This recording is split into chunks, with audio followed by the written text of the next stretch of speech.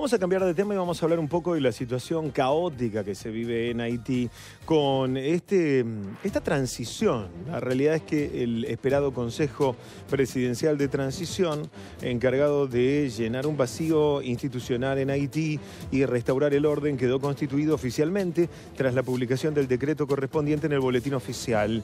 El diario informó de la creación y la organización de este Consejo que va a ejercer los poderes presidenciales específicos durante el periodo de transición hasta la investidura de un jefe de Estado elegido. Esto a más tardar será el 7 de febrero de 2026.